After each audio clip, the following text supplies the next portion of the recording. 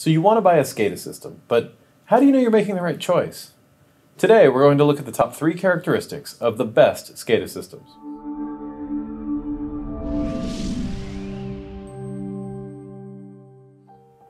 Hi, this is Andrew from DPS, and welcome back.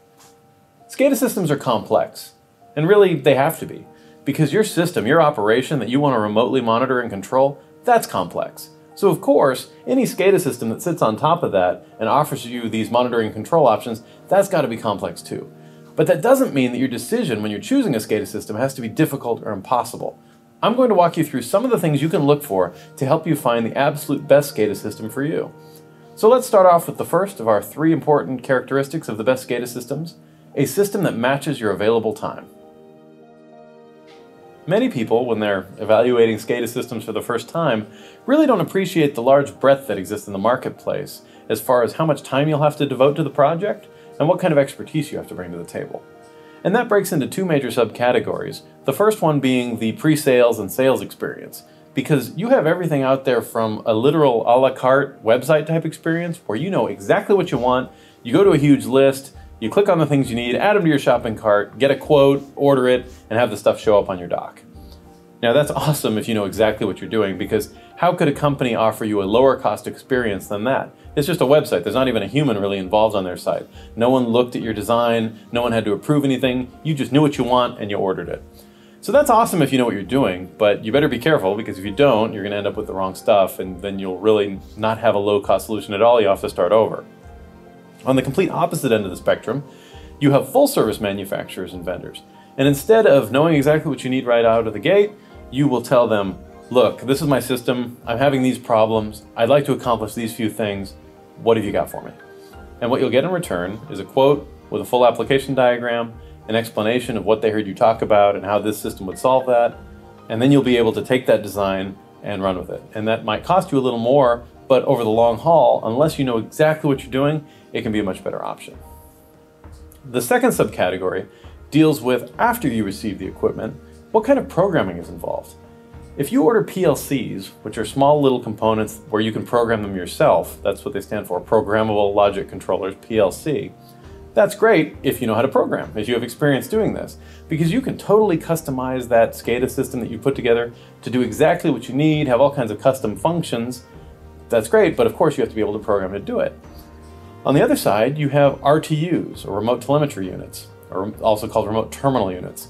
These have a lot more intelligence built in. They're usually small rack-mounted boxes, and these have features that you would simply configure in a menu rather than program from scratch yourself. So if you're just getting started with SCADA, or if you just want something that you could execute quickly, the RTU can be a better option. So you need to decide where you are on that spectrum as well. Now let's look at our second characteristic of the best SCADA systems. You need to choose a system that's customized for your operations. Now at this point in your research, I'm sure you'd love for me to tell you, go to XYZ Corporation, get their SCADA system, it's amazing and it's going to be the best one for you. But I can't possibly do that, because a SCADA system has to be customized to match your operation, and I haven't learned about your operation yet, so there's no way I could recommend something specific. But I can tell you about a couple key things that you need to keep in mind when you're doing your planning. The first one is capacity. However much stuff you have to monitor and control, your SCADA system needs to be able to handle that. And you need to think about both the physical and software ability for it to handle that, and also what does the licensing look like? Do you have to pay extra for a certain number of devices? You just need to be aware of that when you're doing your planning. And then second, we talk about compatibility.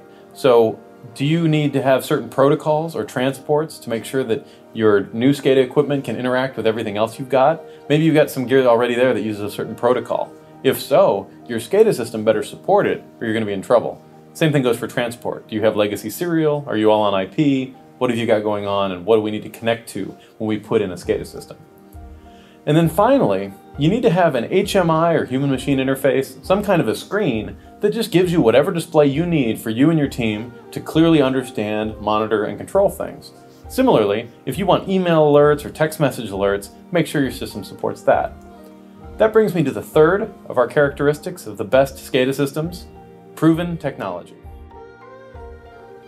Your operation is very important, and you need to protect it with a good SCADA system. So you obviously don't want to use technology that's brand new, that's a prototype, that's never been used before. You want to choose something proven that you can depend on. But what does that actually mean?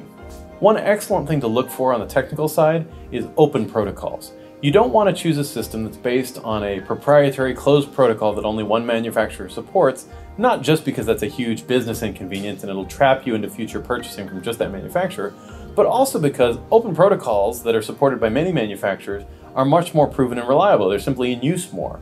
So that's one excellent thing to look for. Look for open protocols. And then also, the standard things you'd expect when you're trying to find proven technology. Look for referral lists, case studies, are big name companies using this gear because they have a lot of resources and obviously they can get just about anything they want? Or is this some kind of new company that just has a new solution that really hasn't seen much deployment yet? If you'd like to talk through your SCADA project with me, I would be happy to work with you. Just click the link below to get my contact information.